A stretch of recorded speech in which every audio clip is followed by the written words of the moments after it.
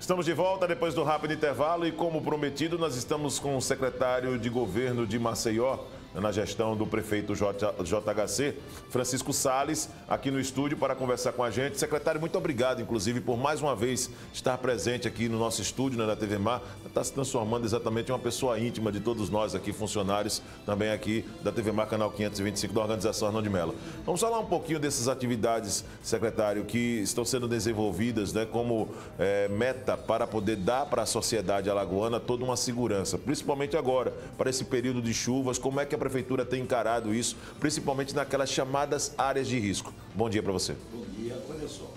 Infelizmente, assumimos a prefeitura de Maceió agora em janeiro sem nenhum programa é, para enfrentar a quadra, de, a quadra chuvosa. Então, o que é que nós vamos fazer?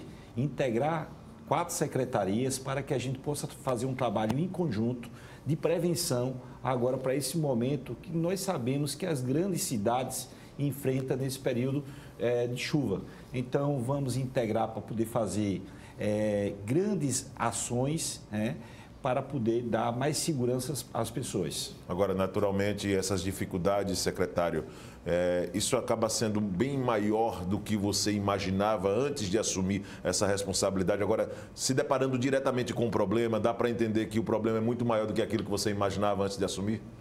Olha só, a gente precisa planejar a nossa cidade, a gente precisa colocar as estratégias para poder funcionar, tirar os projetos do papel, para que a gente possa realmente fazer as ações. Então, quando a gente assume em janeiro e tem uma responsabilidade agora, em menos de 30 dias, já encarar essa primeira quadra chuvosa da gestão JHC, a gente precisa, sim, no mínimo, fazer as pequenas ações para poder obter grandes resultados, grandes soluções. Hoje nós temos algumas prioridades aqui no nosso, na nossa capital e entre elas é exatamente é, o ordenamento de situações de pessoas que vivem em área de risco. Como é que isso está sendo acompanhado? E quando você fala em integração de pelo menos quatro secretarias, como isso será desenvolvido para que todos possam trabalhar de uma maneira muito bem entendidas para poder prestar esses serviços para a sociedade maceiense? Vamos iniciar desde a comunicação, já estamos disponibilizando 199 reforçando o nosso call center, é, estamos dobrando o quadro de funcionários, porque a gente precisa integrar também não somente as secretarias, mas também as secretarias com a sociedade. Então, esse número que a gente já está disponibilizando, que é 199, é, a gente está dando essa reforçada é, no quadro de funcionários para que a gente possa melhorar a comunicação com as pessoas e a sociedade. Então, aqueles, aqueles moradores que moram próximo das encostas, moram próximos aos canais, aos nossos riachos, a gente já está fazendo todas as ações. A gente está fazendo um trabalho muito forte é, hoje na desobstrução de galerias. Para você ter ideia, de janeiro até hoje, a gente já conseguiu chegar em 500 galerias. Então, esse é um trabalho reforçado é, por parte da Secretaria de Infraestrutura para que a gente possa realmente desobstruir essas galerias para poder evitar esses alagamentos ou então diminuir esses alagamentos. Para você ter ideia, a gente entrou dentro do mercado da produção, onde há 20 anos o município não tomava conta das galerias. Sim. Então a gente já observa que durante essas chuvas que estão caindo agora no Nordeste, aí caindo aqui em Maceió, a gente está conseguindo diminuir o índice de alagamento.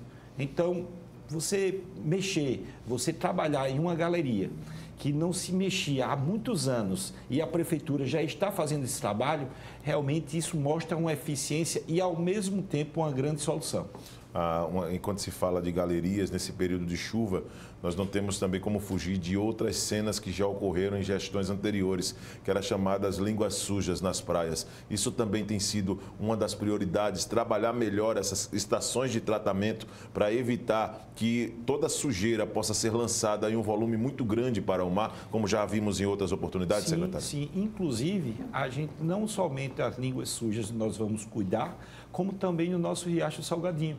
A gente tem várias obras é, estruturantes. A gente vai lançar esse programa hoje. Ele vai ser um programa não somente para quadra chuvosa, mas também uma ação permanente. É, sabemos que, infelizmente, por conta do tempo, a gente só vai conseguir fazer três obras é, que, de, de grande porte. É, mas o que nós vamos fazer nesse momento agora é as ações preventivas. Sabemos, por exemplo, a aplicação de lonas. São medidas paliativas. É, a gestão é, do prefeito JHC quer chegar até o nosso final de mandato sem ter que fazer as medidas paliativas e sim as medidas concretas. Sim. Para que a gente possa realmente cuidar principalmente dessas pessoas que moram nas encostas. A gente já vai entrar com uma ação muito forte também no Riacho Salgadinho, né, para que a gente possa realmente cuidar da nossa cidade. A, gente, a prefeitura vai fazer a parte dela, mas também a gente precisa fazer um trabalho de conscientização com as pessoas. Sim. Né? Então, o que é, qual é a maior dificuldade que nós enfrentamos hoje? Por exemplo, encostas. É o acúmulo de lixo que é jogado nas encostas. Nós sabemos que essa é a maior arma e contribui com esses deslizamentos. Então, a gente está fazendo também um trabalho de conscientização com as pessoas, é, de dizer que o lugar de lixo é no lixo, que as pessoas podem sim fazer a sua parte. A gente hoje está tirando um acúmulo de lixo de, da nossa cidade muito grande. Então, as pessoas podem sim contribuir com tudo isso. Então, a nossa medida e o nosso programa é fazer essa integração com as secretarias e, ao mesmo tempo, com a sociedade. É fazer o trabalho de conscientização. Vamos trabalhar é, em conjunto para poder passar essa quadra chuvosa. A respeito das áreas que são consideradas críticas, as de maior prioridade, como é que você tem acompanhado nessa preparação para a quadra chuvosa, secretário, a respeito principalmente em locais já conhecidos, das pessoas que moram na encosta, como na Grota Santa Helena, ali em Ouro Preto, que são áreas consideradas críticas, já apontadas inclusive pela Defesa Civil do município? Olha só, a gente já está monitorando essas áreas que há uma preocupação maior, como por exemplo o bairro do Jacintinho, o bairro do Benedito Bentes, que vem aumentando muito as encostas, é, o bairro da Xande Jaqueira, a gente já está trabalhando para poder fazer uma força-tarefa nesses bairros. Inclusive, na próxima terça-feira, a gente vai fazer uma, uma visita em loco com todas as secretarias, já começando pelo Jacintinho, para que a gente possa monitorar e, ao mesmo tempo, já fazer essas pequenas ações para obter grandes soluções. É, secretário, nós estamos aqui, para quem está ligando a TV agora, estamos recebendo aqui no estúdio da TV Mar Canal 525 o secretário de governo de Maceió, Francisco Sales, falando de várias ações, da preparação da nossa capital e também da Prefeitura Municipal de Maceió para a quadra chuvosa. Secretário, falando de outra bandeira que você levantou e dentro daquele entendimento teve a maioria da sociedade que aprovou também, que foi os taxões, a retirada dos taxões. Como é que isso está sendo estudado a partir de agora para que erros lá atrás não possam ser repetidos agora? Desde que foi colocado, desde que foi implantado aqueles taxões, é, na Avenida Fernandes Lima, quanto na do Valdo Góes Monteiro, quanto na parte baixa da cidade, a sociedade não aceitou. Então foram provocados vários acidentes, é, perdemos vidas por conta daquilo. Principalmente uma grande arma para os motociclistas, é, para os ciclistas, e a sociedade não estava admitindo aquilo. Ainda como vereador na gestão passada, é, fiz várias denúncias e tentei de todo jeito a retirada desses taxões, ainda como vereador, o ano passado. Só que infelizmente não consegui. E agora o prefeito JHC comprou essa ideia, foi uma das, das primeiras ações que ele já pediu para ser executada e a gente já conseguiu retirar. Então já, inicia, já retiramos 12 quilômetros é, da parte alta da cidade e agora vamos finalizar com mais 8 quilômetros na parte baixa da cidade. Outra grande vitória dessa gestão que tem sido já executada para a sociedade é a construção da ciclovia ali na, na Avenida Fernandes Lima, né, que liga o trecho Fernandes Lima do Valde Góes Monteiro. Isso também tem uma iniciativa, uma participação direta do prefeito JHC. Gostaria que você falasse da sua participação, secretário, também para esse momento, com retirada de taxões e também com esse local que garantirá mais segurança para os ciclistas e para os pedestres. Olha só, a gente, infelizmente, aqui em Maceió, a gente estava acostumado de perder recursos recurso vinha de Brasília e seria perdido, não saía do papel. E agora o compromisso da gestão do prefeito JHC é que a gente não possa perder esses recursos. A gente tem hoje quatro bairros em estado de calamidade pública. A gente não pode ter o luxo de ficar perdendo recursos do governo federal e os projetos simplesmente não saírem do papel. Então, esse, esse projeto aí da, da ciclovia da Avenida Fernandes Lima era um projeto que praticamente já estavam perdendo o recurso E a gente tirou do papel e colocou em, em execução. Então, desses, é, é, entre esses dias, a gente já vai poder entregar é, essa ciclovia para a sociedade. É todo aquele ciclista que, infelizmente, se acidenta, que perde sua vida, quase, infelizmente, quase todas as semanas a gente está vendo aí ciclistas é, tendo dificuldade, entrando em acidentes, é, perdendo sua vida, a gente fica muito triste. É o sentimento que a gente está perdendo essa guerra. E a gente não pode admitir mais isso.